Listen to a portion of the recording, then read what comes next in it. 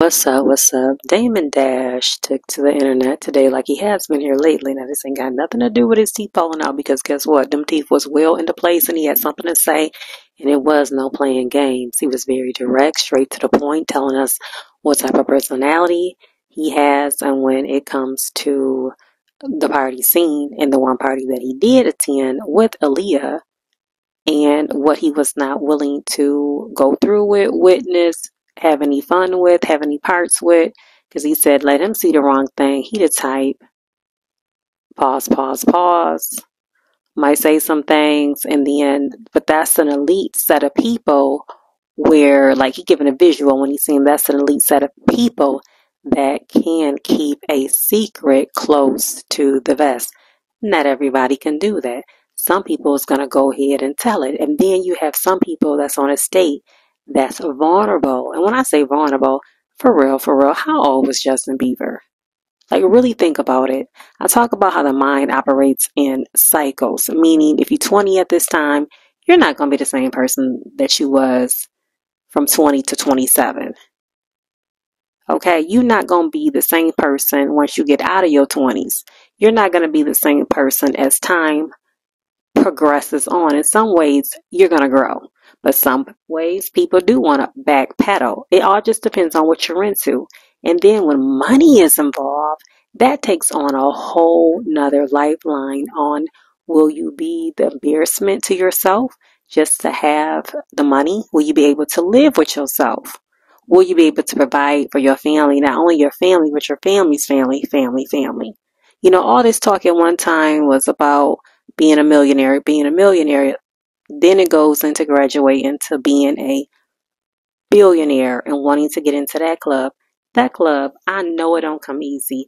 What are people keeping quiet? How are people even keeping it together mentally to keep their minds going to even accept the foolishness, the the, the demonic forces to keep quiet about like, look, I do this for you, you do this for me. Sign contract, verbal agreement, capiche, capiche, comprende ustedes. And we're going to keep it moving. Because some of that stuff I know had to been so scary that you couldn't have told it. But some of this stuff that's was, as Hollywood is coming down, it's going to be some more names that just may shock the pants off of some people. But it was already written. The days was going to come like this whether who's around to see it, whether who's around to testify about it. When I think of Justin Bieber, my heart really aches for him. This is a child that came out into the music industry and his songs were happy, uplifting. You know, kids were interested in singing his lyrics. They were feel good songs.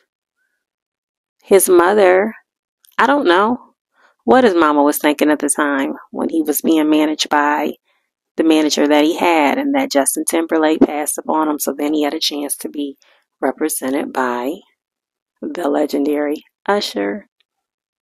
Okay. But something about that situation just irritates me real bad because, again, if it is being said it was said actually by Suge Knight, and I'm sure it's probably been said by some others.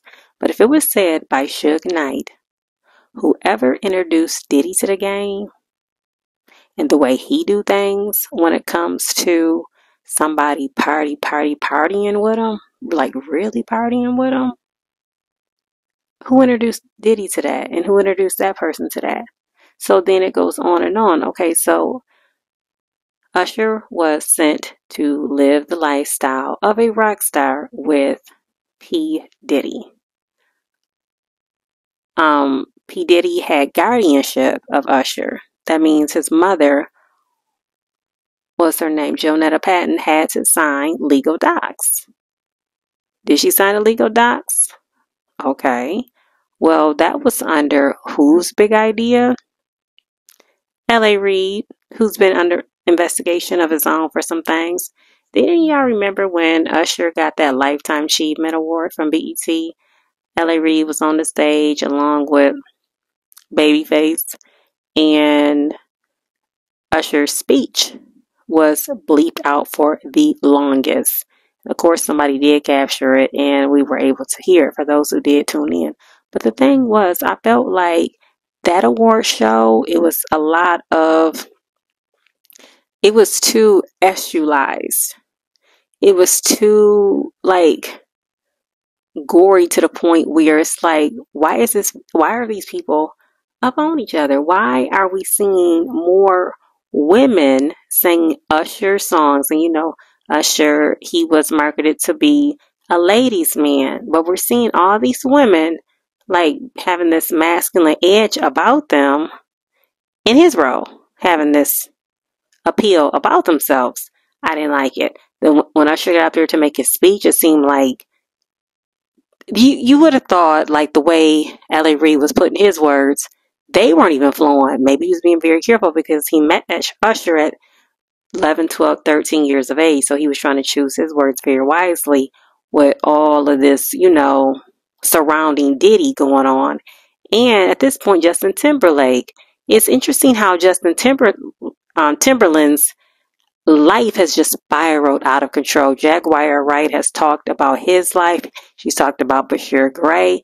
These are different young men. Yeah, as they should be, but to the point where you saying you on stage just crying, crying out, saying, I'm giving my life to God for Justin. That's what Justin was saying. He was saying how in this business so many people come to manipulate, steal, and destroy you. They mean you no good.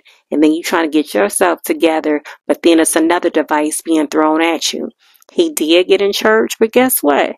That pastor was under scrutiny himself and the type of scrupulous things that he was doing within the church, but yet was trying to build the church off of Justin Bieber's name. Which means you go from your Kmart wearing attire self to wearing designer Gucci'd out jackets that only Fred Astaire could purchase because you wanted this facade in your church because now that you're associated with Justin because you done had an opportunity, done went viral baptizing Justin at wee hours in the morning. But yet this person was truly broken and needed help from the church, but instead it was capitalized. So what does that mean? They said lines was just wrapped around the gates to get in. It wasn't the church that your great mama, great grandmother went to, your grandmother or your mom went to. It was the church of today that people were flocking to. Because, see, I do believe that there are a lot of empty souls out here. But I think because we know that we are operating in a world where there is good and bad, you know, good and evil, bad and evil, wrong, right, and you have to make a choice. I think for a long time, Damon Dash was kind of looked at like the scum of the earth because he wasn't rolling with what the Steve Stouts or the Andre Harrells of that time. And like the way things had went with him and Jay-Z and all of a sudden Jay-Z, he the man when all this time it was like the brains and how Jay-Z got the deal was because of Dame Dash. But things took a turn. What happened? People said, oh, he fell off. Well, maybe he fell off in the right direction. Not everybody wants to come under submission for what is just not self preservation, self respect, to be a yes person, to have to play the game and then go home at night to have to live with yourself or wake up the next morning to know you got to do it again. In other words, things that are agreed upon and how sometimes people get further in life it's not always about integrity. It's not always about because you want it so bad. Not everybody has to get in, and not everybody has to get it that way. Sometimes it may take a little bit longer. But what about just the basic necessities of life and maybe having a little something left over to enjoy these pleasurable things that God does want us to enjoy in the right light, though. I ain't saying enjoy them in darkness, but there are certain things that have been put here on earth to be able to enjoy yourself with yourself, your family. Not to just go all out out here, you know, helping to destroy other people's lives just because you got the short end of the stick or to be a voice to speak up. But guess what? Even if some of these voices were speaking up at that time, who would have listened? They may have tried to have the people committed somewhere, thinking that they're making it up just so that the money can continue to grow. Because it's like you get to messing up these higher up tiers, these CEOs, their money. Oh, it's going to be a problem. Oh, you talking too much. Now, Jaguar, God bless her, because that woman got a mouth that just won't stop. And she always got something to say. But just think if she would have stopped. Some think Gene Deal is a bodyguard. He shouldn't be talking. His job should have just been, okay, you do your job, let that be that. He said there's no way he could just be seeing stuff and just letting it slide. He had to say something. So what if it wasn't the Gene Deals, the Jaguars of the world? Would the world still be walking in silence as if it's normal? Would parents still be handing over their underage children, not knowing what could possibly really take place behind the scenes or what they could be offered as a sacrifice to have to do and be threatened. Don't you tell nobody or this could happen. So they stay silent, but but you can see your child is study changing, becoming a different person because you're not able to be with them every step of the way. Then you got the rec exec telling you that this is the way it goes. Well, welcome to the world that we are now in, and it has been exposed. It wasn't the way that it should have went then, but it, some things have happened. It's definitely not the way it should go now. A lot of things have happened and came out. So how do you choose? Is your child really ready for destined? Are you ready to be a star? Are you destined for this? What is a star in your mind? Have you gone through the checklist? Have you had a talk with Jesus? Have you prayed about this for things to be revealed? Are you willing to walk away? If something is asked of you, is, is your child trained, is your grandchild trained to know right from wrong, to know how to get out of situations safely? They say they out there, you know, pouring stuff. You don't even know what they pouring. You don't. You won't even be knowing what you're celebrating. They'll be celebrating They'll be happy. They know it that, that took place. And not everybody that was a part of these games and recruiting was against it.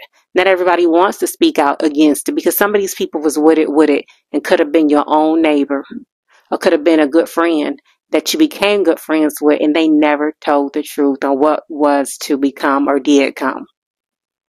But what needs to come out, I pray that it keeps coming out and God's grace is sufficient. God's grace is sufficient. And I pray for anyone who has been involved in a way that they think they can't get back up from this, they cannot recuperate from this, that they cannot have life after this. I pray for those. And we'll catch up on this a little bit later. But Dame Dash you're gonna be all right, just like you know you was always gonna be anyhow. Keep speaking.